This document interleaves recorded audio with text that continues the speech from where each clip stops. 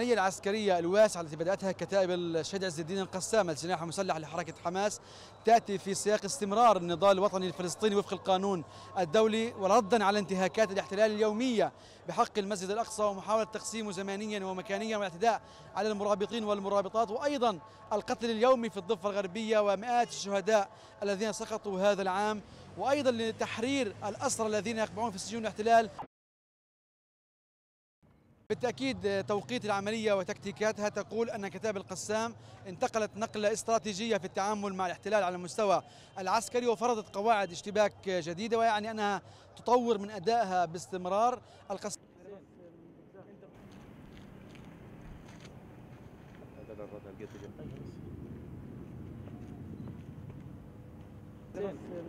انت زلمه